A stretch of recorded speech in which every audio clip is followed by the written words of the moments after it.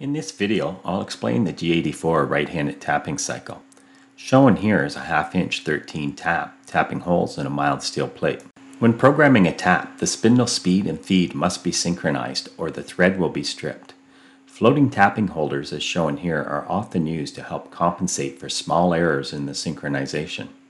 The feed rate for a tap must be the RPM times the pitch. To make the calculation easy for inch threads, add a zero to the number of threads per inch. This will be the RPM, and then the feed will always be 10 inches per minute. Typically this is a bit slow, but it's easy to double or triple. For example, if I spin the half inch 13 tap at 130 revolutions per minute, then the feed will be 10 inches per minute. Or if I spin the tap at 260, the feed will be 20.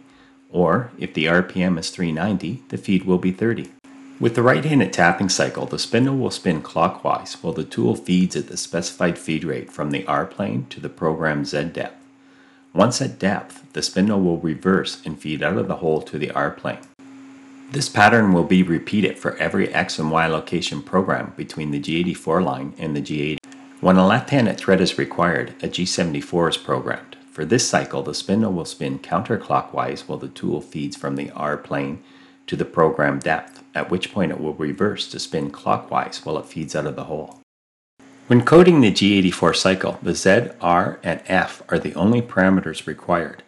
In this case, the G84 will tap the 15 1 8 MPT holes whose location is stored in the subprogram 1800. The R level must set the tool high enough above the top of the hole to allow time for the speed and feed to synchronize. Typically, three times the pitch is sufficient. Next, the boring cycles will be programmed.